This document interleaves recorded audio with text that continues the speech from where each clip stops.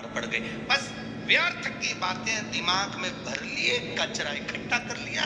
तुमने सबसे पूछा, मैं कैसी लग रही? मैं कैसी लग रही? मैं कैसी लग रही? एक बार शिव पुराण में पहुँच जाती, एक बार दर्पण के सामने खड़ी हो जाती, मालूम पड़ जाता, सब व्यर्थ।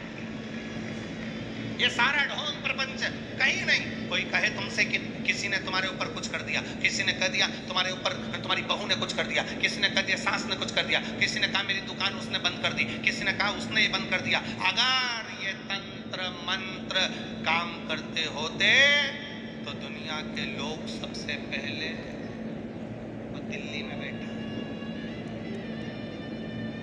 तुम्हारी तो छोटी सी दुकान है बड़ी बड़ी कंपनी के मालिकों पे नहीं करते लोग। सत्ता सब कुछ है। ना, किसी की सामर्थ्यता नहीं, आपके भाग्य के आगे जो दुख लिखा है तो दुख भोगना पड़ेगा और सुख लिखा है तो सुख भोगना पड़ेगा। पर इतना याद रखना, दुख की घड़ी में, अगर तुम दर्पण के सामने खड़े हो, तैयार होते समय दर्पण के सामने खड़े हो, दर्पण सब सत्य बता देगा। दुख की घड़ी में शिव महापुराण की कथा में बैठ गए, शंकर के दरवाजे खड़े हो गए तो वो नहीं काटेगा, केवल एक शिव।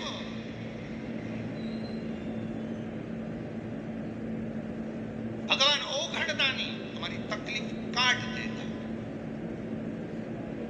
आखिरी में मिलना भी किससे?